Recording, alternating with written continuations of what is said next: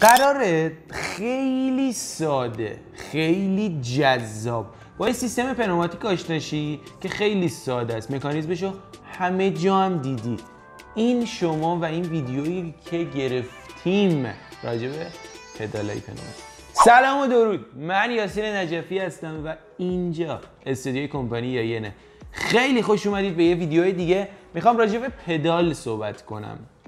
پدالی که دقیقا اسمش هم روشه. آره همونی که فکر می‌کنیم پدال ماشین پدال کلاچ ترمز یا حتی پدال چرخ درسته؟ من انقدر بچه بودم دوست داشتم بشینم اینو مثلا فشار بدم یک چرخ چیزی انجام بده ولی از اون تیغه میترسیدم اون بالا بود.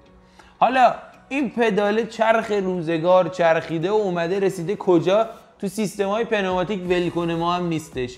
ساده ترین سیستم های پنوماتیک رو میشه با این پدالا راه اندازی کرد. قبل از اینکه کامل ویدیو تستش و اجزای توی خود پداله ببینی همین الان لایک کن ویدیو رو و توی کامنت ها بنویس که سیستم های پنوماتیک رو با پدال استفاده می‌کنی یا شیرای برقی.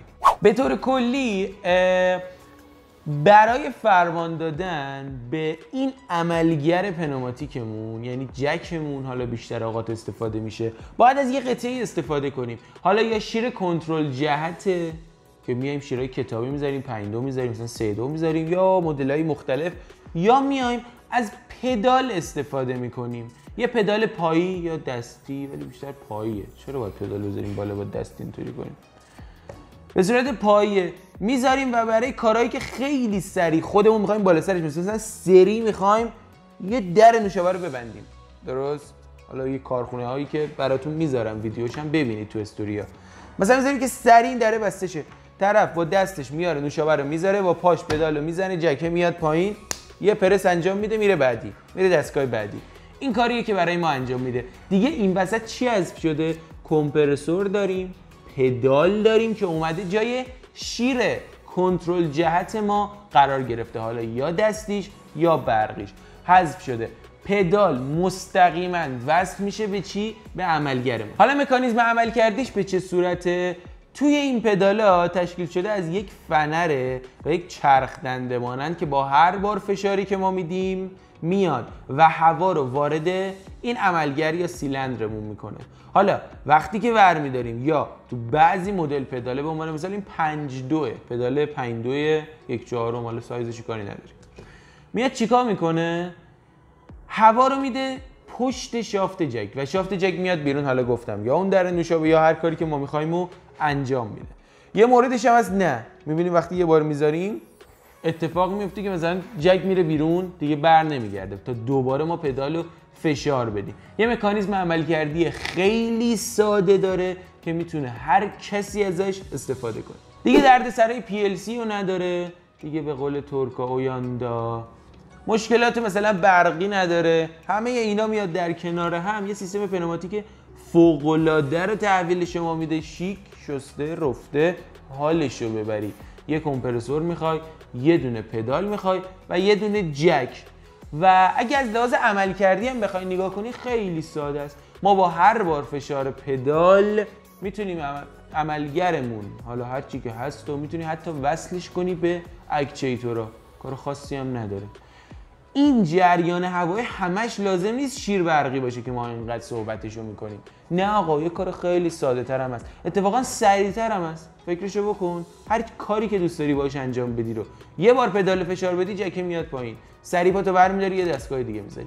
اتفاقا چینی ها انقدر کاراشون سریعه خوراکشون این پدال است. گذاشته زیر پاش یه فشار میده جکه میاد پایین تق پرس می‌کنه میره بعدی. تق پرس می‌کنه میره بعد تق تق تق.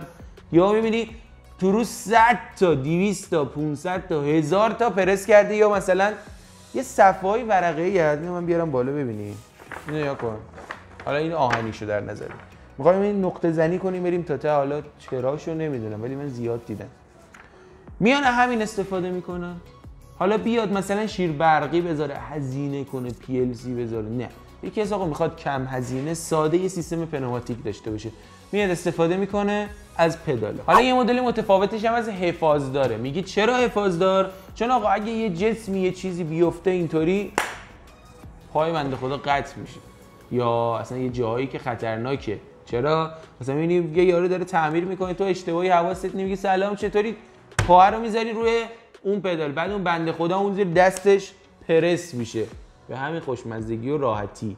برای همین اون حفاظ داره واسه میشه این اتفاقی نیفته. چیزی از بالا نیفته پایه علکی نره قیطه رو خراب نکنه. حفاظ دارم برای این کار بی نهایت مناسبه. خب با پدال آشنا شدیم شما و این پدال های پنوماتیک که اتفاقا چیز نکته جالب توجهش اینه که فستو این پدالش یه پدال هیولاه یعنی فکر کنم متریالی که توی این پدالی که الان دیدید استفاده شده ده برابر یه پدال چینیه و باز هم یه نکته دیگه.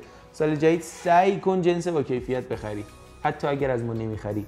سعی کن جنس با کیفیت بخری. اگه فروشنده رک بهت بگم سود خوب بگیری و جنس خوب بدی دست مردم. نه سود خوب بگیری جنس به درد نخورم بدی دست مردم.